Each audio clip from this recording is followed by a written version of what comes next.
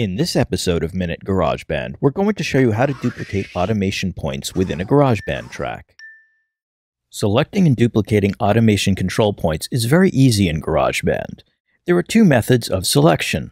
You can either drag select by clicking in a blank area of the automation timeline and dragging, being careful not to click on the automation line itself, while also not clicking the part of the track that holds regions, or clicking on the individual control point.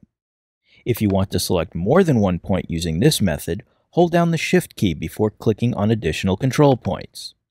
You can also use the Shift key with the drag method to select different sets of points.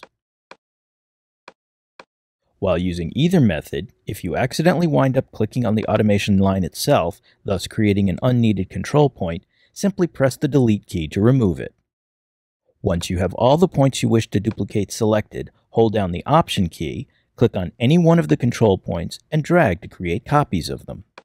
Additionally, there's another trick you can use to duplicate control points, especially if you want to duplicate the region to which they belong.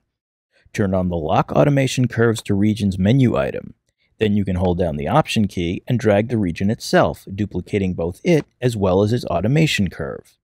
If you only wanted the automation points using this method, turn off the Lock Automation Curves to Regions menu item after the duplication, and then press the Delete key to remove the region, leaving just the Automation Curves control points.